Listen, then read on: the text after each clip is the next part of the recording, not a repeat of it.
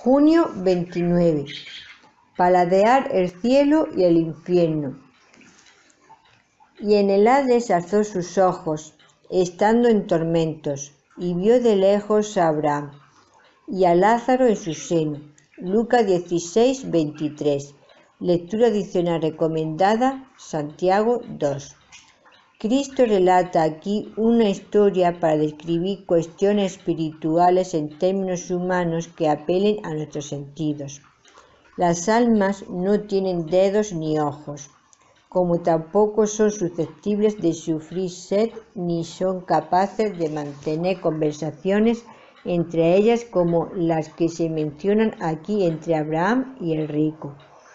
Sin embargo, nuestro Señor traza aquí un retrato que representa la vida venidera de tal manera que podamos identificarnos con ella.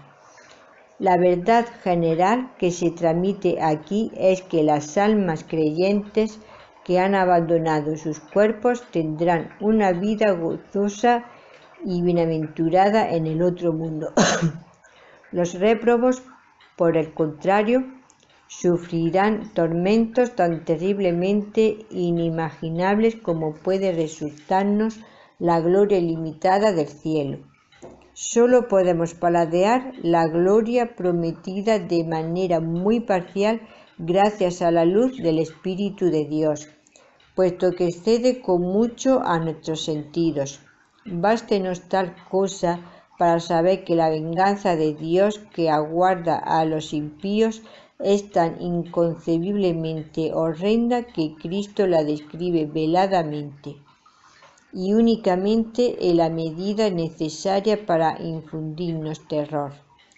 En lo tocante al cielo y el infierno, Cristo nos ofrece solo algunas pinceladas y de una forma apropiada para inhibir nuestra curiosidad se describe a los malvados como víctimas del espantoso tormento de su desdicha.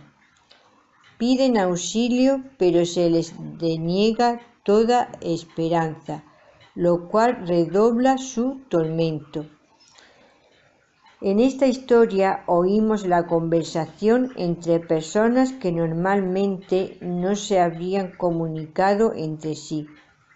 Cuando el rico dice, Padre Abraham expresa el tormento adicional de comprender demasiado tarde que ha sido desahuciado de entre los hijos de Abraham. Meditación. ¿De qué manera podemos identificarnos con el sufrimiento extremo del hombre rico y con la gloria inconmensurable de Lázaro? Jesús nos ofrece suficientes argumentos para llevarnos a cuestionar la forma en que vivimos actualmente. ¿Estamos arrodillados con fe ante Cristo, el único que puede salvarnos? ¿O confiamos en nuestra conducta o en la fe de nuestros padres para alcanzar el cielo? Junio 29. Si eres un hijo de Dios, cuando pecas, puedes correr hacia Él en lugar de alejarte de Él, ya que todos tus pecados han sido cubiertos por la sangre de Jesús. Hay dos escenarios contrastantes, uno al comienzo de la Biblia y otro al final de la misma.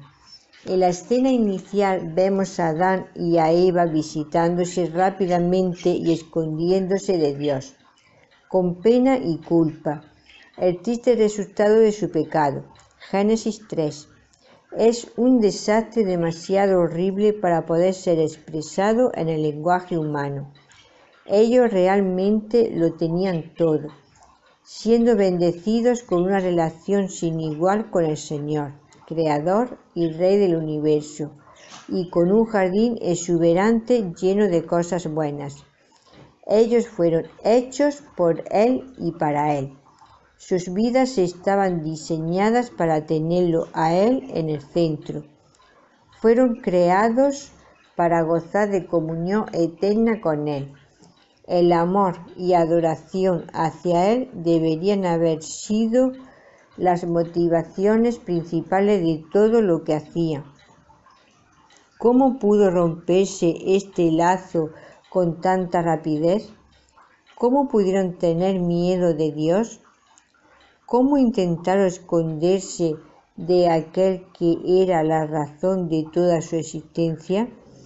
Es muy difícil asimilar, pero la respuesta a estas preguntas es clara, el pecado, con su carga de culpa y vergüenza. Los separó de Dios y los alejó del jardín de su presencia y provisión. El enlace fue interrumpido. ¿Cómo podría repararse? La segunda escena son las bodas del Cordero. Apocalipsis 19.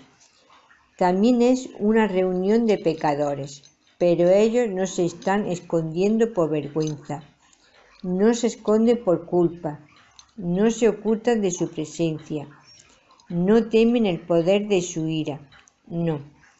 Estos pecadores están celebrando porque el enlace que fue interrumpido en el jardín ha sido restaurado. Han contraído nupcias con el Salvador.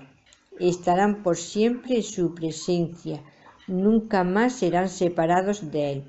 Nunca más se esconderán. Nunca más serán alejados. Su comunión nunca tendrá fin. El sonido de su celebración nunca se acallará. Sus vestiduras han sido lavadas y blanqueadas están vestidos con la justicia de otro, han sido aceptados por causa de él. No hay condenación para ellos, no hay pecado que los separe. Es una escena de gran hermosura y el intentar describirla llevaría al lenguaje humano más allá de sus límites. ¿Qué hizo la diferencia entre estas dos escenas? No es la sabiduría humana ni su fuerza, posición o justicia. La diferencia es capturada en una gloriosa y transformadora palabra.